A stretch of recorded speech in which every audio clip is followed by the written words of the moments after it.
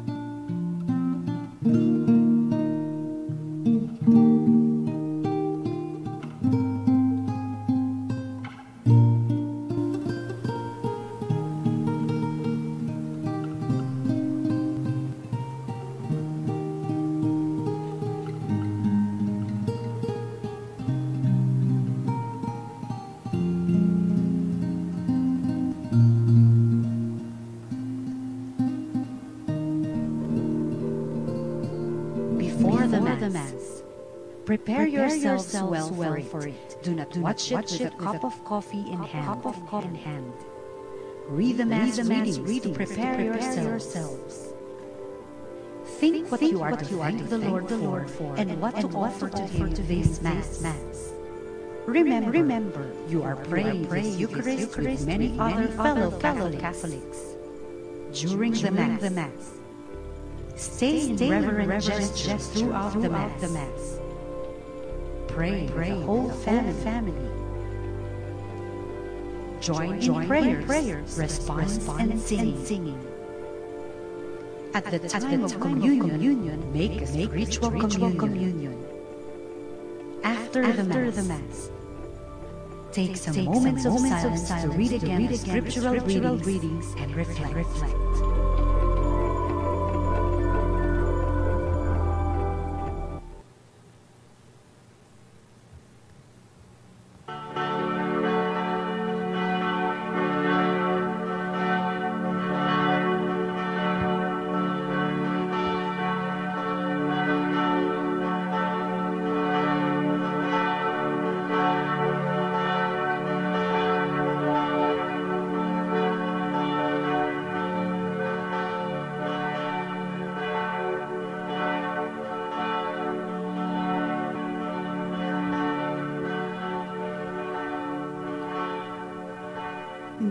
the Father, and of the Son, and of the Holy Spirit. Queen of heaven, rejoice. Alleluia. For he whom you merited to bear. Alleluia.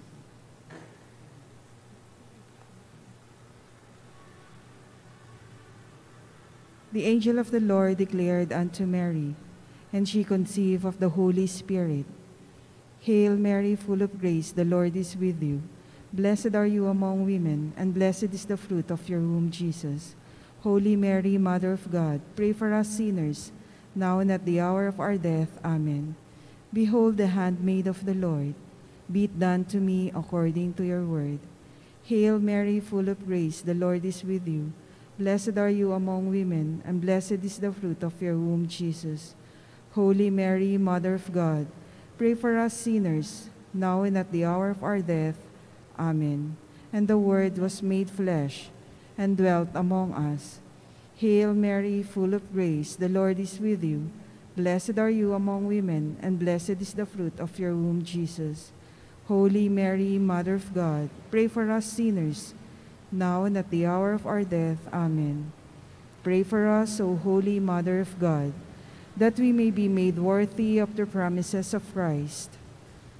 Let us pray. Pour forth, we beseech thee, O Lord, thy grace into our hearts, that we to whom the incarnation of Christ thy Son was made known by the message of an angel, may by his passion and cross be brought to the glory of his resurrection through the same Christ our Lord. Amen.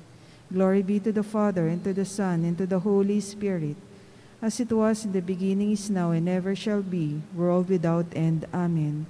Glory be to the Father, and to the Son, and to the Holy Spirit, as it was in the beginning, is now, and ever shall be, world without end. Amen. Altogether, glory be to the Father, and to the Son, and to the Holy Spirit, as it was in the beginning, is now, and ever shall be, world without end. Amen. Panalangin ng katiwala. O Diyos amang mapagmahal, Ikaw ang bukal ng lahat ng kabutihan at pagpapala. Nilikha mo kami bilang iyong kalarawan at pinangasiwa sa lahat ng iyong ginawa. Papuri at pasasalamat ang sa iyo ay aming alay sa mga biyayang ibinigay, tanda ng iyong paggalinga. Hindi pa naging sapat, inihandog ang iyong bugtong na anak upang sa amin ay magligtas at Espiritu Santo na gumabay sa pagkaligaw ng landas. Hayaan mo ang iyong kabutihan ay aming magantihan sa pamamagitan ng handog pasasalamat. Ang aming panahon, talento at kayamanan, ngayon ay aming iniaalay upang kami maging karapat-dapat sa iyong pagtitiwala at pagmamahal. Gamitin mo po kami na iyong mga katiwala upang ang paghahari mo ay magsimula dito pa lamang sa lupa. Salamat aming Ama, salamat sa pamamagitan ni Yeso Kristo, kasama ng Espiritu Santo, magpasawalang hanggan. Amen. Oratio Imperata para sa proteksyon laban sa COVID-19. Mahabagin at mapagmahal na Ama, nagsusumamo kami sa iyo upang hilingin ng iyong patnubay laban sa COVID-19 na nagpapahirap sa marami at kumitil na ng maraming buhay. Tunghayan mo kami ng may pagmamahal at ipagadya kami ng iyong mapaghilom na kamay mula sa takot sa karamdaman at kamatayan. Itaguyod mo kami sa pag-asa at patatagin sa pananampalataya. Gabayan mo ang madalubhasang na atasan na tumuklas ng mga lunas at paraan upang hihinto ang paglaganap nito. Nagpapasalamat kami sa mga bakunang naisulong sa patnubay ng iyong mga kamay. Pagpalain mo ang aming mga pagsisikap na mawakasan ng mga bakuna ang pandemya sa aming bayan. Patnubayan mo ang mga lumilingap sa may sakit upang ang kanilang paggalinga ay malaki pa ng husay at malasakit. Pagkalooban mo sila ng kalusugan sa isip at katawan, katatagan sa kanilang paninindigang maglingkod, at ipagsanggalang sa karamdaman. Itinataas namin ang mga nagdurusa, makamtan nawa nila mabuting kalusugan. Lingapin mo rin ang mga kumakalinga sa kanila, pagkamitin mo ng kapayapaang walang hanggan ang mga pumanaw na pagkalooban mo kami ng biyaya na magtulong-tulong tungo sa ikabubuti ng lahat. Pukawin sa amin ang pagmamalasakit sa mga nangangailangan, sa pagdamay at malasakit namin sa bawat isa, malampasan nawa namin ang krisis na ito at lumago sa kabanalan at pagbabalik loob sa iyo. Hinihiling namin ito sa pamamagitan ni Yesu Kristo na nabubuhay at nagaharing kasama mo at ng Espiritu Santo, iisang Diyos, magpasawalang hanggan. Amen. Dumudulog kami sa iyong patnubay, mahal na ina ng Diyos. Pakinggan mo ang aming mga kahilingan sa aming pangangailangan at ipagadya mo kami sa lahat ng kasamaan. Malwalhati at pinagpalang Birhen. Amen. Mahal na Birhen, mapagpagaling sa may sakit, ipanalangin mo kami. San Jose, ipanalangin mo kami. San Rafael Arcangel, ipanalangin mo kami. San Roque, ipanalangin mo kami. San Lorenzo Ruiz, ipanalangin mo kami. San Pedro Calungsod, ipanalangin mo kami. Sa ngala ng Ama, ng Anak at ng Diyos, Espiritu Santo. Amen.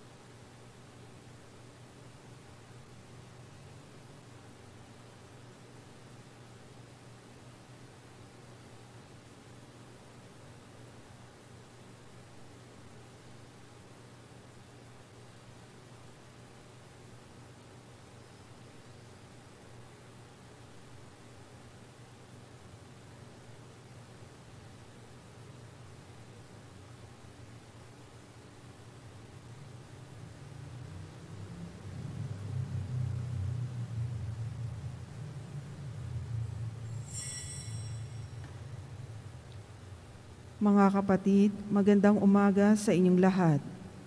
Ipinagdiriwang natin ngayon ng kapistahan ng pagliliwanag sa bagong anyo ng Panginoon. Ang ating paring tagapagdiwang ay si Reverend Father Max.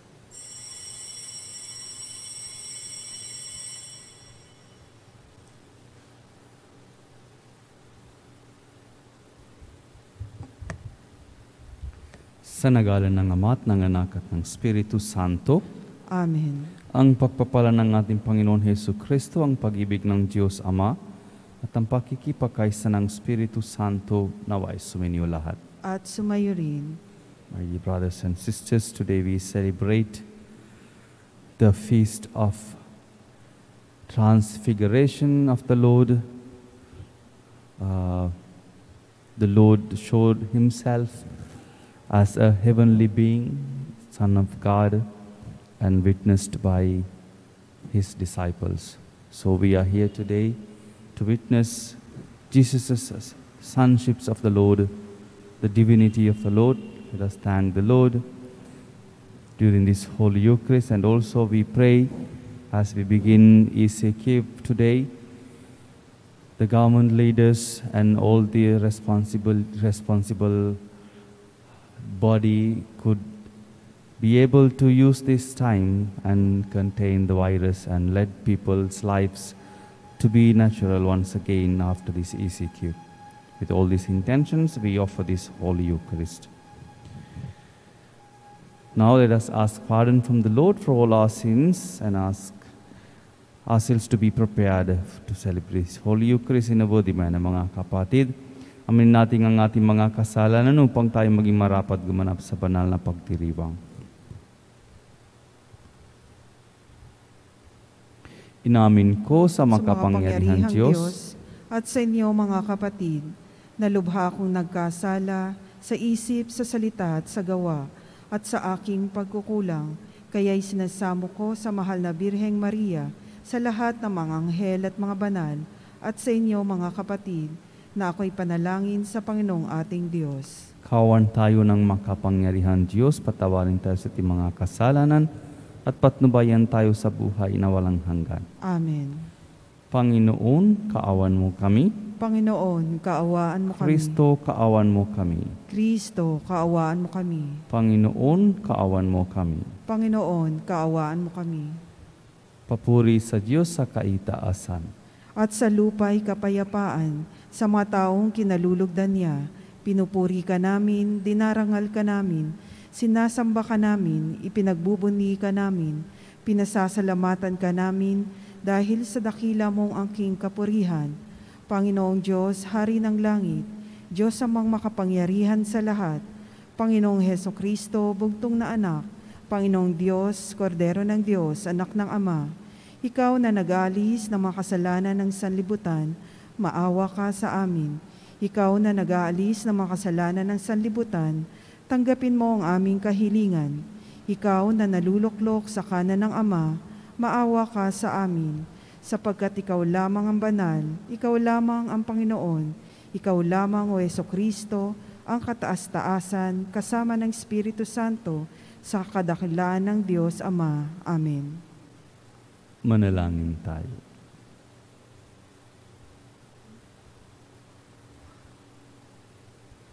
Ama naming makapangyarihan sa iyong anak ng pinak pinakakamahal at hari ng sanlibutan, niloob mong pag-isahin ang tanan. Dulot mo ang ta- tanang kinapal ng pinalaya sa kaalipinan ay makapi, makapaglingkod sa iyong kadakilaan at makap, makapagpuri sa, sa iyo ng walang humpay sa pamagitan ni Hesus Kristo kasama ng Espiritu Santo magpa sa walang hanggan. Amen.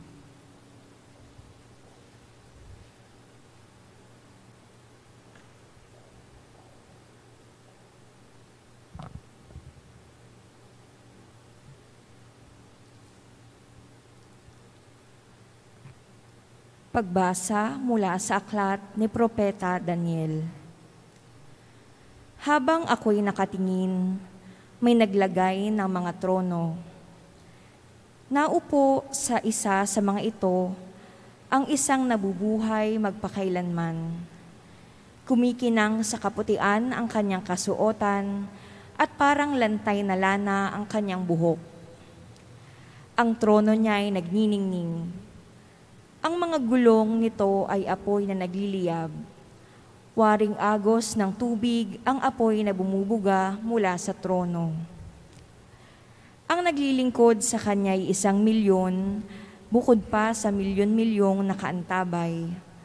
Humanda na siya sa paggawad ng hatol at binuksan ang mga aklat. Patuloy ang aking pangitain. Ang nakita ko naman ay isang tit ay isang tila taong nakasakay sa ulap. Bumaba ito at lumapit sa nabubuhay magpakailanman. Binigyan siya ng kapamahalaan, ng karangalan at ng kaharian. Siya ay paglilingkuran ng lahat ng tao, bansa at wika. Ang pamamahala niya ay di matatapos at di babawiin, at hindi mawawasak ang kanyang kaharian ang salita ng Diyos. Salamat sa Diyos. Panginooy maghahari, lakas niya'y mananatili. Panginooy maghahari, lakas niya'y mananatili. Ang poon ay maghahari, magalak ang kalupaan. Lahat kayong mga pulo ay magsaya at magdiwang. Ang paligid niya ay ulap na lipos ng kadiliman. Kaharian niya ay tapat at salig sa katarungan. Panginooy maghahari, lakas niya'y mananatili. Yaong mga kabundukay natutunaw parang pagkit sa harapan ng dakilang Panginoon ng daigdig. Sa langit ay nahahayag yaong kanyang katuwiran. Sa lupa ay makikita ang kanyang kadakilaan. Pangino'y maghahari, lakas niya'y mananatili. Ikaw poon ay dakila at hari ng buong lupa. Dakila ka sa alinmang mga Diyos na ginawa. Pangino'y maghahari, lakas niya'y mananatili.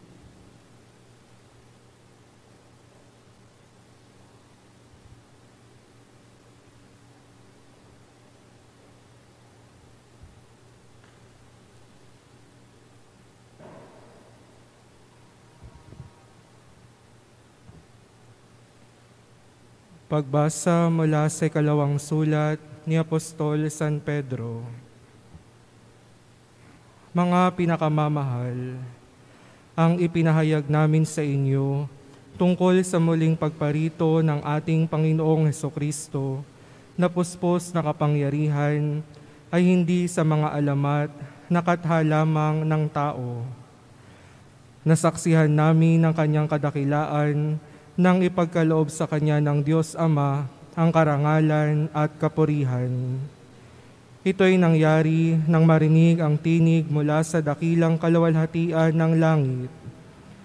Ito ang pinakamamahal kong anak. Siya ang lubos kong kinalulugdan. Narinig namin ito sapagkat kami kasama niya sa banal na bundok.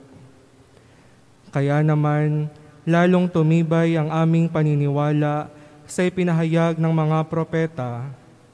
Makabubuting ito'y pagukulan ninyo ng pansin, sapagkat ang nakakatulad nito ay isang ilaw sa karimlan na tumatanglaw sa inyo hanggang sa mamanaag ang araw ng Panginoon at ang sinag ng tala ng umagay maglagos sa inyong puso ang salita ng Diyos. Salamat sa Diyos. Aleluya, aleluya. Sabi ng Diyos ay pakinggan, ang anak niya'y minamahal, na lubhang kinalulugdan. Aleluya, aleluya. Sumainyo ang Panginoon, At sumayo rin, ang mabuting balita ng Panginoon ayon kay San Ma- Maki. Papuri sa iyo, Panginoon. Jesus took Peter, James, and his brother John and led them up a high mountain apart by themselves. And he was transfigured before them, and his clothes became dazzling white, such as no fuller on earth could bleach them. Then Elijah appeared to them along with Moses, and they were conversing with Jesus. Then Peter said to Jesus in reply, Rabbi, it is good that we are here. Let us make three tents one for you, and one for Moses, and one for Elijah. He hardly knew what to say. They were so terrified. Then a cloud came, casting a shadow over them. From the cloud came a voice This is my beloved Son. Listen to them. Suddenly, looking around, they no longer saw anyone but Jesus alone with them. As they were co- coming down from the mountain, he charged them not to re- relate what had happened to anyone except when the Son of Man had risen from the dead. So they kept the matter to themselves, qua- questioning what rising from the dead meant.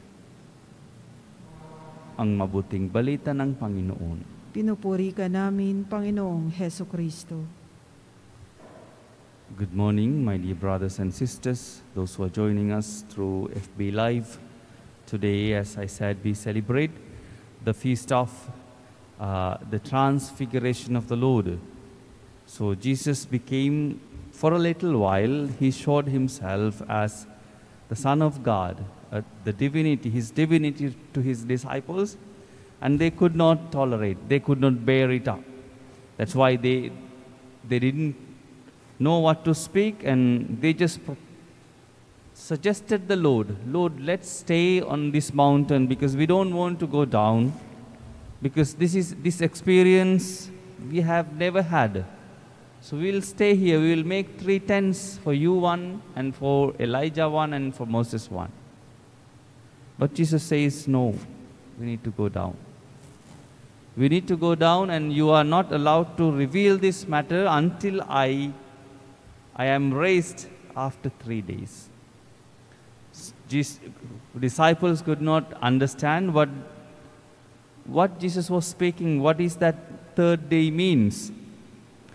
But if you read, uh, if you hear the second reading taken from the second letter of the Peter, he tells after the death of Jesus, after the resurrection of the Jesus and ascension into heaven, Peter now reveals this truth to the people that he preached. He says, I'm not, I'm not telling a myth. No? As Filipinos, we have many myths, many, you know, Chinese myths, no? You, there are many myths that you know. But this is not a Chinese myth. Or this is not a Filipino myth. Or this is not a Jewish myth. Peter says very uh, obviously this is not a myth or this is not a created story. This is what we witnessed. This is our life experience. This is what we heard. See, they saw through their eyes, they hear, they heard from their ears. And these are all five senses, no? So reliability is kept, validity is uh, established. So the experience is down to earth experience. That's why St. Peter takes so much confidence in saying, we are preaching not a myth, but a an experience. So our faith is not just a myth. It's not just given to us from our generation, from previous generation, but it's an experience.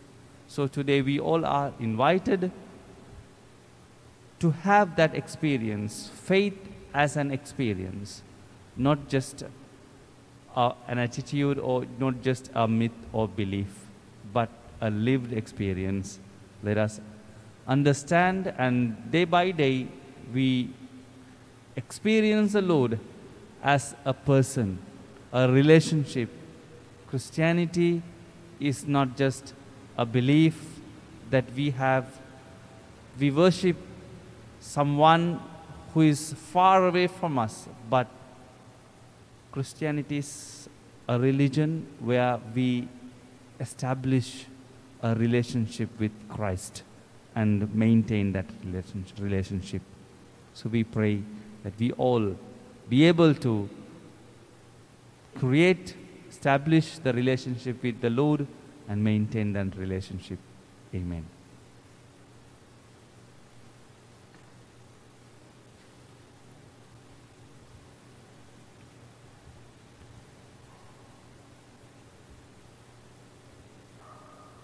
As we are called to have this experience, the, the relationship with the Lord, we need His help for everything that we need in our lives. And now let us turn towards Him and our response be, Panginoon, dinggin mo ang aming panalangin. Panginoon, dinggin mo ang aming panalangin. Sa pamamagitan ng simbahan, naway magningning ang kalawalhatian ni Kristo habang tapat tayong nakikinig sa Kanya. Manalangin tayo sa Panginoon. Panginoon, dinggin mo ang aming panalangin. Ang mga bansa naway maakay ng minamahal na anak sa mga landas ng kapayapaan at katarungan.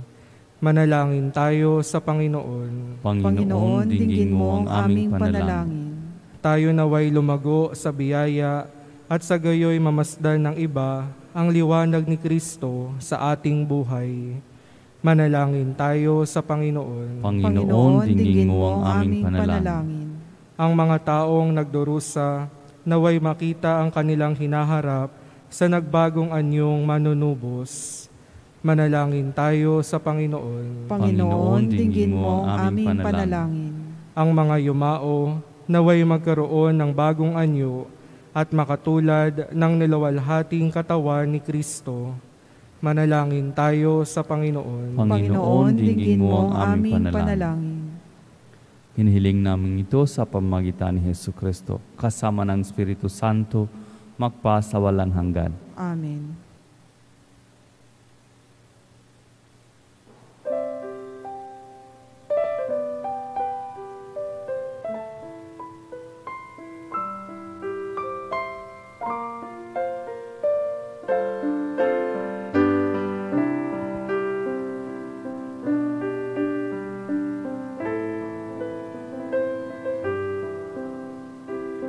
Kapuri-puri ka Diyos sa malumika sa sanlibutan sa iyong kagandahang loob.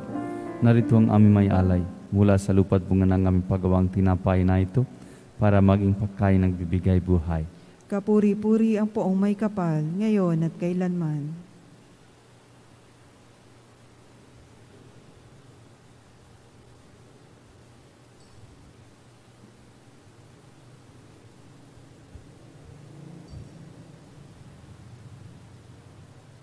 Kapuri-puri ka Diyos ang malumika sa sanlibutan sa iyong kagandahang loob. Narito ang aming may alay.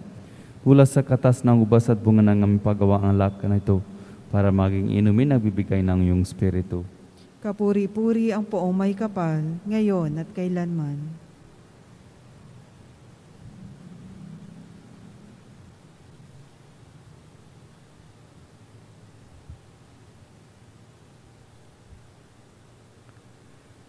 Manalangin kayo mga kapatid upang paghain natin ay kalugdan ng Diyos amang makapangyarihan.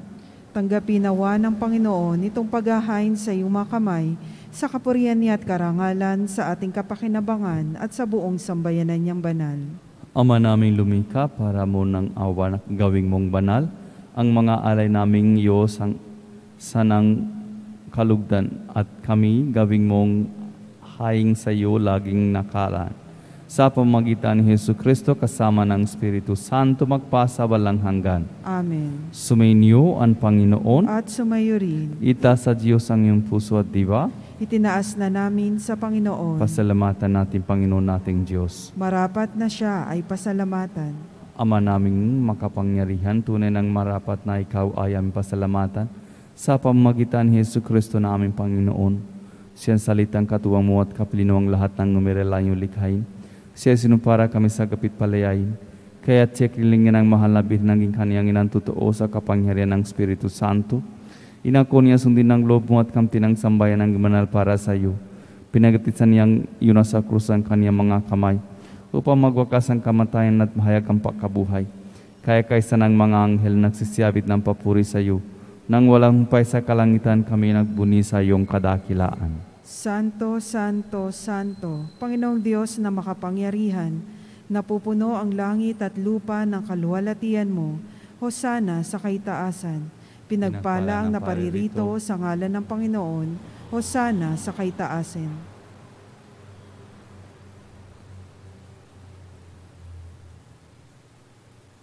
Ama naming banal, ikaw ang bukal ang tanang kabanalan. Kaya't sa pamagitan ng iyong Espiritu gawing mong banal ang kaloob na ito upang para sa aming maging katawan at dugo ng aming Panginoon Heso Kristo. Bago niya pinagatisan ko sa loob na maging handog, hinawakan niyang tinapay. Pinasalamatan kanya pinanghati-hati niya yun iniabot sa kanya mga alagad at sinabi, Tanggapin ninyo lahat ito at kanin ito ang aking katawan na yahahandog para sa inyo.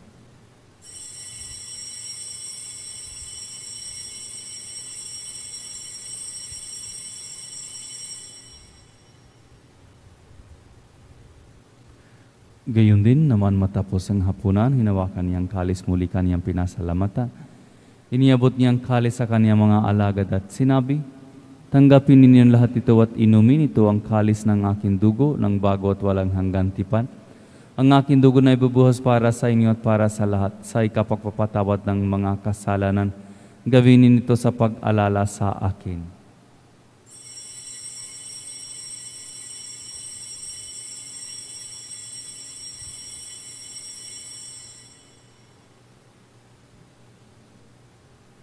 Ipagbuni natin ang misteryo ng pananampalataya. Si Kristo'y namatay, si Kristo'y nabuhay, si Kristo'y babalik sa wakas ng panahon. Ama, ginagawa namin na ang pag-alala sa pagkamatay at muling pagkabuhay ng iyong anak, kaya't inialay namin sa iyo ang tinapay na nagbibigay buhay at ang kalis na kakaloob ng kaligtasan. Kami nagpapasalamat dahil kami minarapat na tumayo sa harap mo para maglingkod sa iyo. Isinasamo namin kami magsasalo-salo sa katawa, katawan na dugo ni Kristo ay mabuklo sa pagkakaisa sa pamagitan ng Espiritu Santo. Ama, linggapin mo ang simbahan laganap sa buong daigdig. Puspusin mo kami sa pag-ibig kay San Francisco naming Papa at ni Jose naming Obispo at ng Tanang Kaparian. Alalahanin mo rin mga kapatid namin na himlay nang may pag-asan sila'y muli mabubuhay, gayon din ang lahat ng mga pumanaw.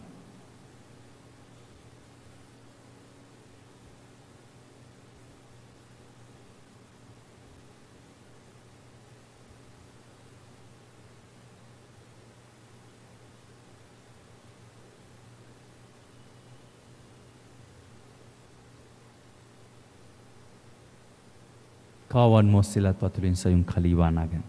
Kawan mo at pagindapatin kaming lahat na makasalusong buhay na walang wakas, kaysa ng mahal na Birhen ng Diyos, kaysa ng mga apostol at ng lahat ng mga banal, na namuhay dito sa daigdig ng kalugod-dugot sa iyo, may pagdiwang nawa namin ang papapuri sa ikararangalbo, sa pamagitan ng iyong anak na aming Panginoon Heso Kristo.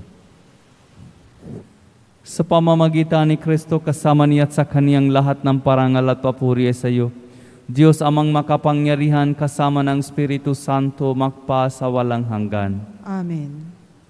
Sa tagbuli ng mga nakagalo to sa turno ni Jesus na Panginoon nating at Diyos, ipahayag natin ng lakas loob. Ama namin, sumasalangit ka, sambahin ang ngalan mo, mapasa amin ang kaharian mo, sundin ang loob mo dito sa lupa para ng sa langit. Bigyan mo kami ngayon ng aming kakanin sa araw-araw, at patawarin mo kami sa aming mga sala, para ng pagpapatawad namin sa nagkakasala sa amin, at huwag mo kaming ipahintulot sa tukso, at iadya mo kami sa lahat ng masama. Hinihiling namin kami adya sa lahat ng masama, pagkaluban ng kapayapaan araw-araw, iligtas sa kasalanan at sa lahat ng kapahamakan, samantalang ang pinanabikan ng dakilang araw ng pagpapahayag ng tagapagligtas naming si Heso Kristo. Sapagkat iyong kaharian at ang kapangyarihan at ang kapurihan magpakailanman. Panginoon Heso Kristo, sinabi mo sa iyong mga apostol, kapayapaan iniwan ko sa inyo. Ang aking kapayapaan ibinibigay ko sa inyo, tunghayan mo ang aming pananampalataya, at huwag ang aming pagkakasala, pakaluban mo kami ng kapayapaan at pagkakaisayon sa iyon kalooban, kasama ng Espiritu Santo magpasa walang hanggan. Amen. Ang kapayapaan ng Panginoon ay laging suminyo. At sumayo rin. Magbigayan kayo ng kapayapaan sa isa't isa. Peace be with you.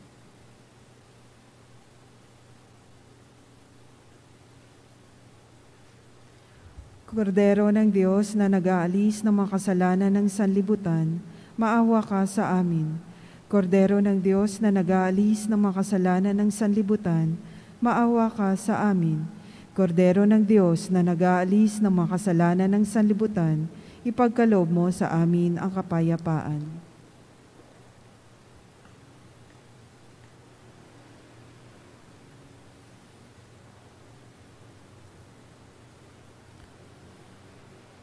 Ito ang kordero ng Diyos, ito ang nagalis ng mga kasalanan ng sanlibutan. Mapalad ang mga inanyayahan sa kaniyang piging. Panginoon, hindi ako karapat-dapat na magpatuloy sa iyo, ngunit sa isang salita mo lamang ay gagaling na ako. Ang katawan ni Kristo, Amen.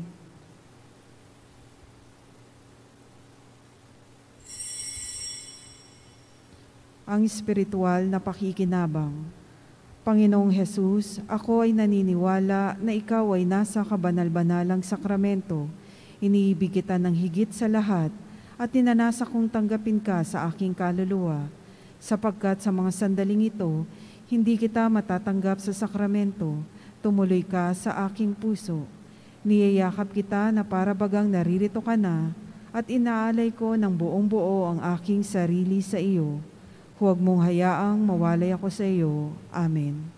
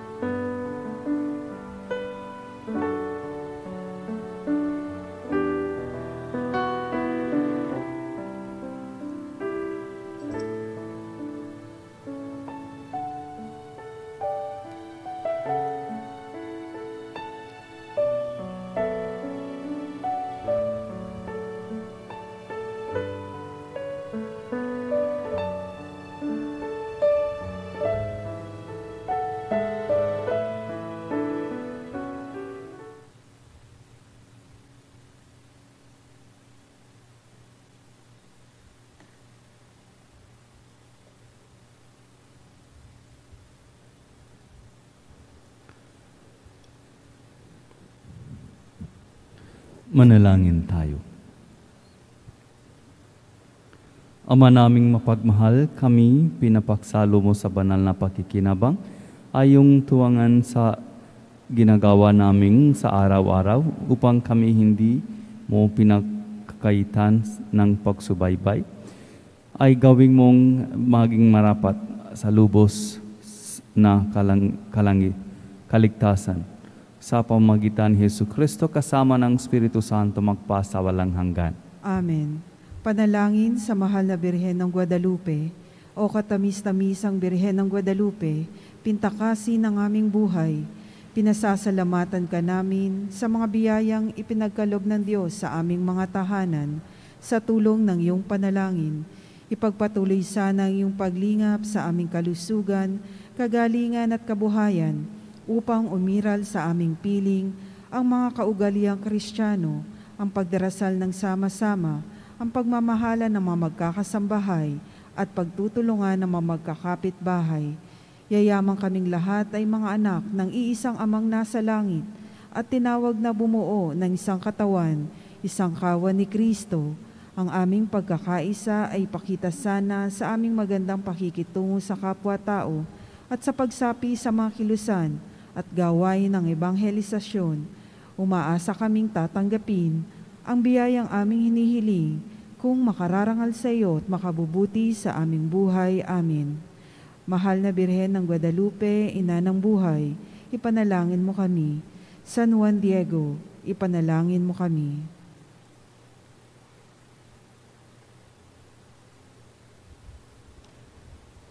Let us pray for those who ask our prayers today morning and also include everyone who, uh, who is uh, involved uh, in implementing this ECQ.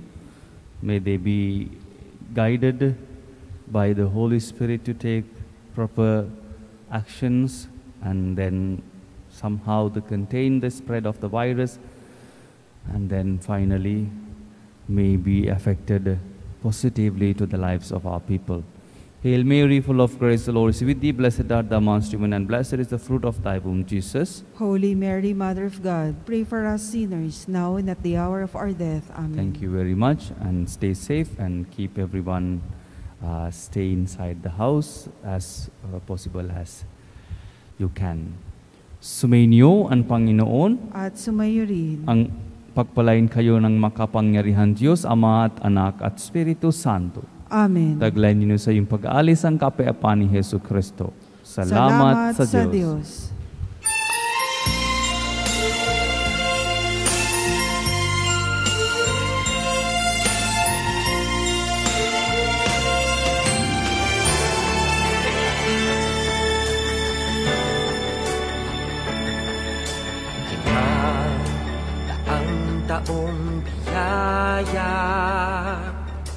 Salamat, Panginoon, sa iyong puna. Misyong kaloob sa aming puso. Aming sarili ay aming handog. Laging tapat at laging tugon. Naririto handa kami, Panginoon.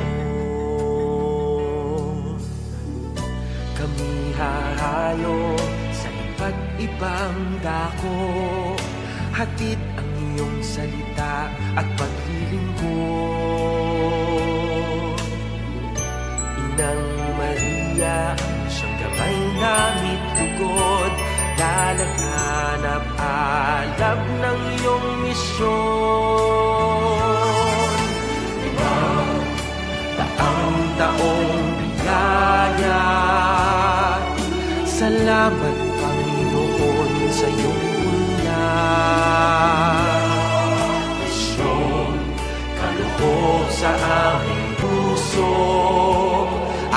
sarili ay aming handog Laging tapat at laging tugon Naririto handa kami Panginoon.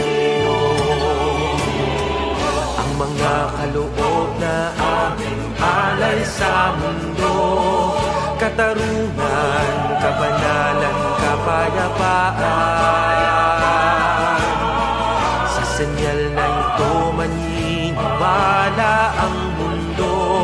pagmamahal namin sa bawat tao.